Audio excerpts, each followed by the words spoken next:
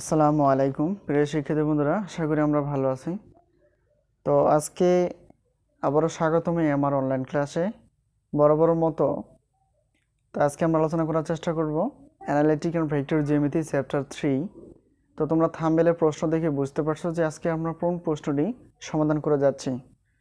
তো এই প্রশ্নটি হলো, এখানে প্রশ্নটি আর এক্সাম্পল এখানে ফাইভ আর এখানে চ্যাপ্টার থ্রি প্রশ্নটি ছিল এরকম five x square plus two x y plus five y square plus ten x minus twenty two y plus twenty nine C মানে কণিকটির প্রকৃতি কেমন আর কেন্দ্রটি কেমন ছিল সেটা আমাদের বের করতে হবে। তো প্রকৃতি বলতে এখানে একটা সমীকরণ দেওয়া আছে। তো সেই সমীকরণ থেকে আমাদের কি করতে হবে যে আদর্শ সাধারণ যে দিকের সমীকরণ আছে সেটাকে তুলনা করতে হবে। তো এখানে প্রকৃতি বলতে বৃত্ত ছিল কিনা, উপবৃত্ত ছিল কিনা, অধিবৃত্ত ছিল কিনা, তো এই জিনিসটা আমাদের কি করতে হবে? বের করতে হবে।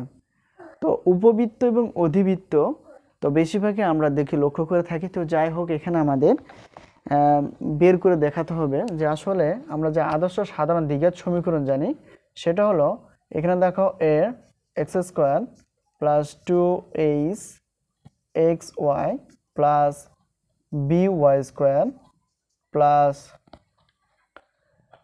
two g x plus two f y plus c equal zero তো এটা হলো আমাদের সাধারণ মানে সাধারণ দ্বিঘাত সমীকরণের সূত্র এটি। তো এটাকে ব্যবহার করে প্রদত্ত যে সমীকরণটি দেওয়া আছে, সেটা আমরা কম্পেয়ার করব।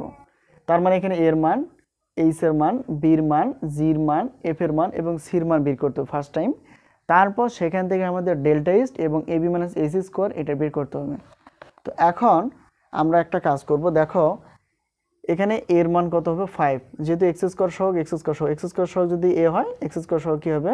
ফাইভ অর্থাৎ এ সমান কত হবে? ফাইভ তাহলে এখানে আমরা এই সাইডে লিখব এ সমান কত? ফাইভ বের করলাম। শুধু তুলনা করব সমীকরণের সঙ্গে।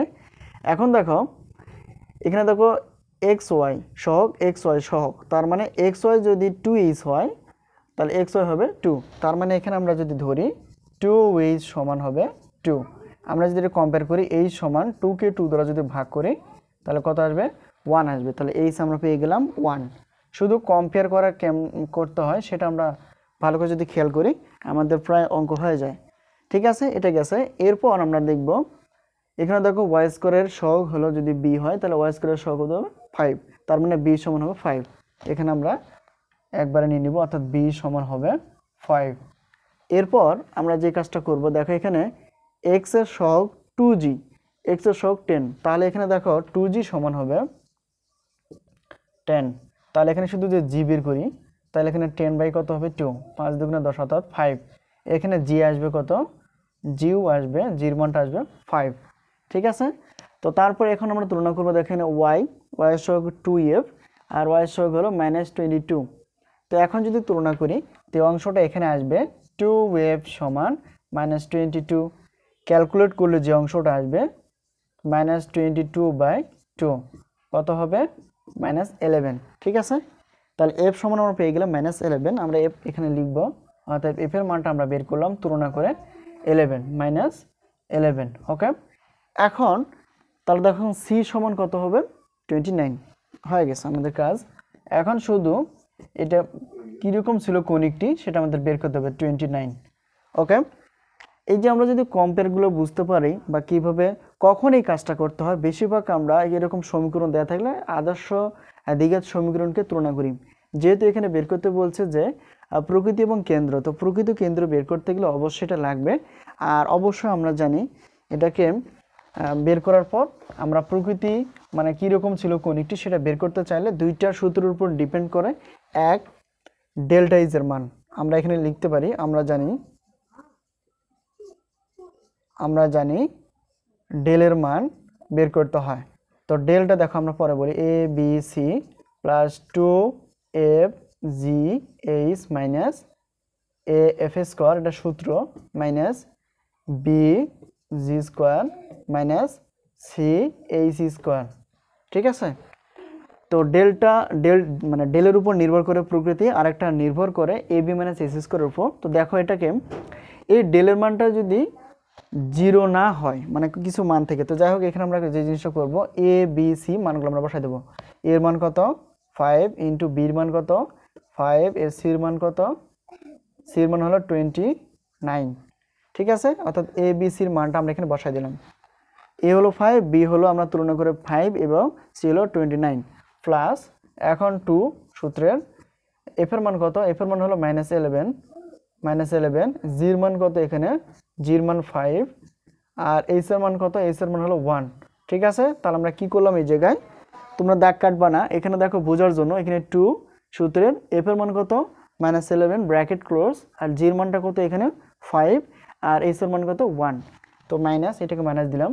এর মান কত ফাইভ এর মান ফাইভ এইসের মান কত এইসের মান হলো সরি এফের মান হলো মাইনাস ইলেভেনের ফোর স্কোয়ার মাইনাস বির মান কত বির মান হলো ফাইভ আর জির মানটা কত এখানে জির মান হলো ফাইভ মানে ফাইভের উপর স্কোয়ার মাইনাস সির মানটা এখানে দেখো সির মান হলো টোয়েন্টি নাইন আর এইসের মান ওয়ান তার উপর স্কোয়ার এখানে আমরা কি করলাম শুধু আমরা মানগুলো বসাই দিলাম দেখো এখানে এর মান হলো মাইনাস আছে মাইনাস এর মান ফাইভ ইন্টু এফ এর মান হলো মাইনাস ইলেভেন তারপর স্কোয়ার মাইনাস এটা, আর বির মান কত ফাইভ ইন্টু আর এখানে জির মান কত? জির মানও ফাইভ তারপর স্কোয়ার আছে স্কোয়ার মাইনাস এখন সির মান টোয়েন্টি নাইন ইন্টু এইসের মান হলো কত? ওয়ান এখন আমরা একে ক্যালকুলেটর করব। তো ক্যালকুলেটর করে যে অংশটা আসবে সেটা আমরা এই ডেল্টা ইজের মান নিয়ে নিব। তো এখানে দেখো এখানে ফাইভ ফাইভ অর্থাৎ গুণ করলে কত হবে? দেখো ফাইভ ইন্টু ফাইভ তোমরাও দেখতে পারো।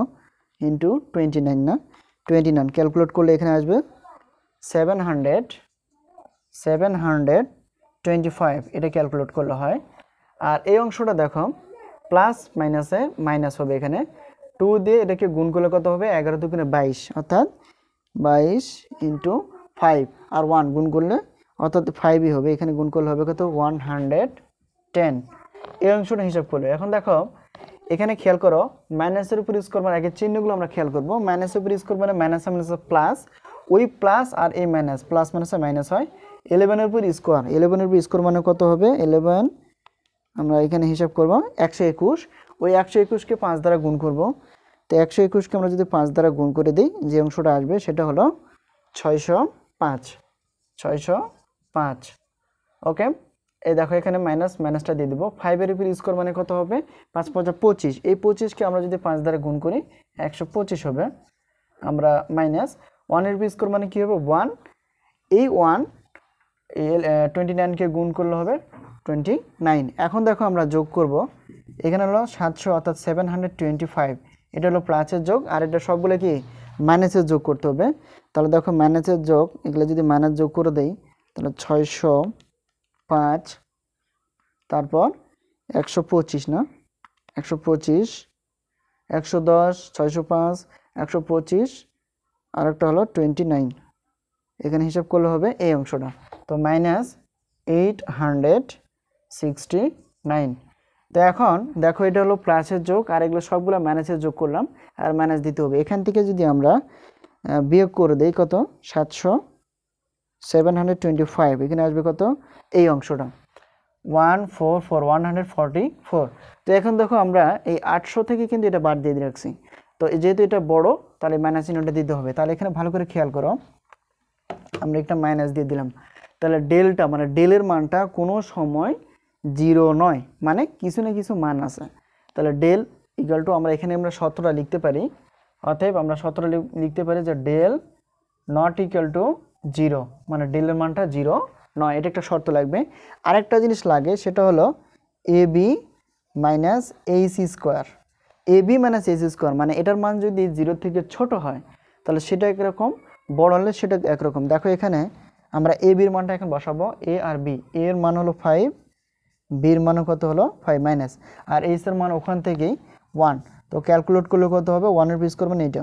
তো পাঁচ পাঁচা পঁচিশ অর্থাৎ টোয়েন্টি ফাইভ ওয়ান তো এখানে আসবে কত? টোয়েন্টি ফোর তাহলে দেখো, এখানে হিসাব করে দেখা যায়, তো এখানে শর্ত আছে, যেমন এখানে আমরা যদি লিখি a b minus h square a b minus h square greater than zero greater than zero তার মানে হলো, এখানে শর্তটা, এখানে জিরো আমরা যদি এখানে দিতে পারি twenty four greater than zero ভালো করে খেয়াল করো সত্যর উপর ডিপেন্ড করবে এটা আসলে কনিকটার প্রকৃতি কি হবে। ঠিক আছে?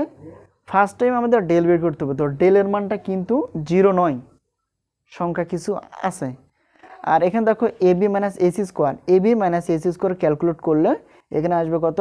টোয়েন্টি ফোর তো এখানে টোয়েন্টি ফোর শর্ত বলছে কি a b minus a c square greater than zero মানে হলো এ বি মাইনাস এসি স্কোয়ারের মান জিরোর থেকে অনেক বড়। তার যখন হয় তখন আমরা এটা বুঝি যে এটা আসলে উপবৃত্ত ছিল। অধিবৃত্ত নয়। যদি জিরো থেকে মানটা ছোট হতো, তাহলে আমরা বলতাম এটা অধিবৃত্ত। আর যেহেতু জিরো থেকে এটা বড়, তাহলে অবশ্যই এটা কি হবে? উপবৃত্ত।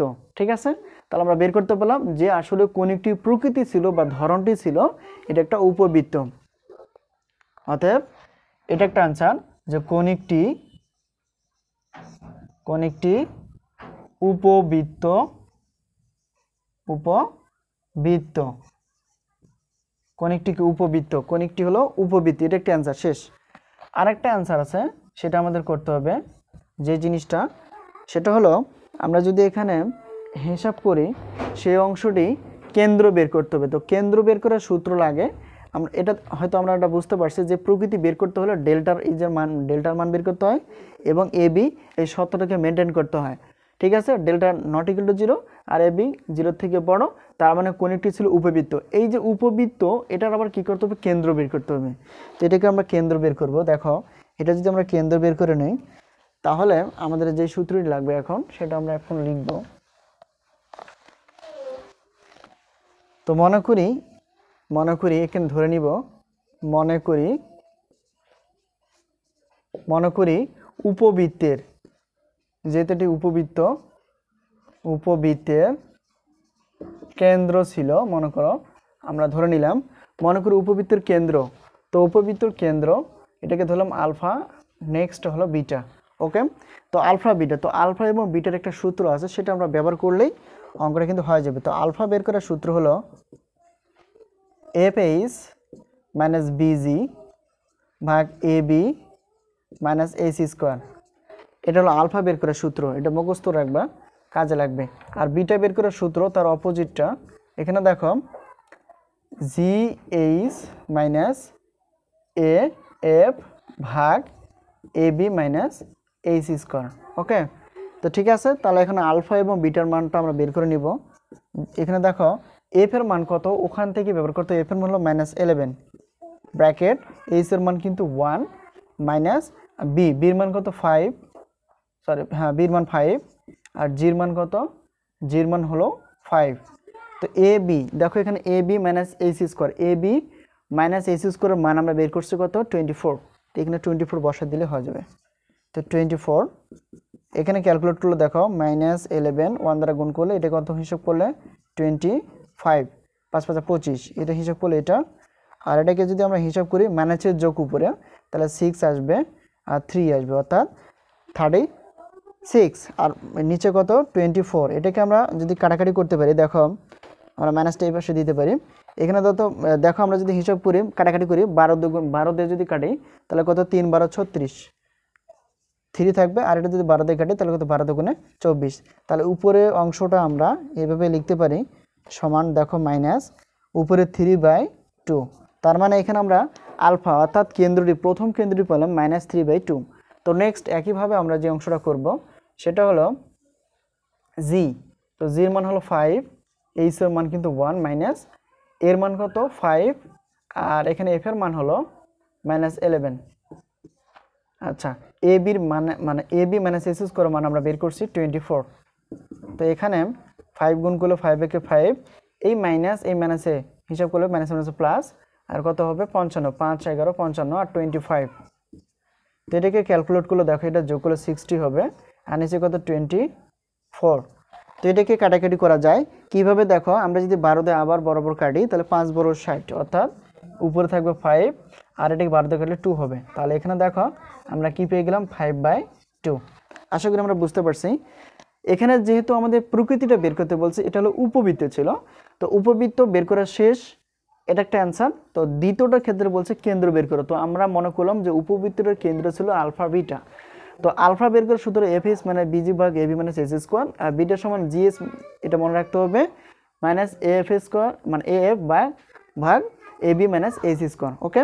তো এখন মান বের করে সব কিছু দেখো, এখানে আলফার অংশটা আমরা পেলাম মাইনাস থ্রি বাই টু, আর বিটার অংশটা পেলাম কত আমরা ফাইভ বাই টু, ঠিক আছে?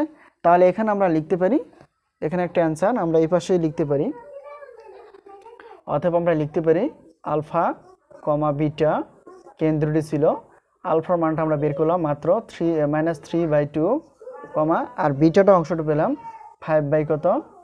টু এটাই কিন্তু এই কেন্দ্রটি ছিল। ঠিক আছে? তাহলে অ্যান্সারটা পেয়ে গেলাম। আলফা, বিটা, আমরা আলফাটা হলো এটা বসালাম আর বিটাটা হলো এই অংশটা। খুবই ইম্পর্টেন্ট প্রশ্নটি।